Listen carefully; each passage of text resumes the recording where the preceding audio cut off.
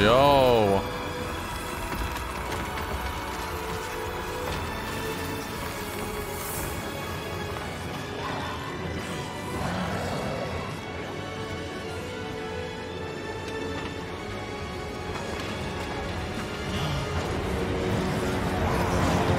It's over. No.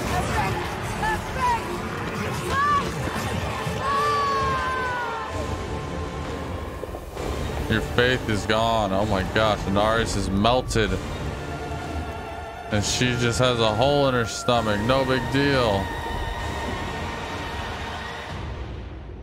What? that was amazing, dude. That was awesome.